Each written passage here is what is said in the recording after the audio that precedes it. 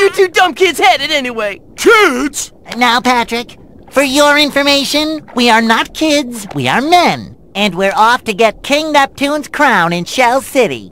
Shell City? Ain't that the place that's guarded by a killer Cyclops? That's right. Lloyd, take off your hat in respect.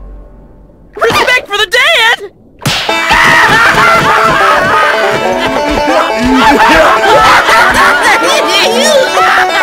you dipsticks ain't gonna last ten seconds over the county line.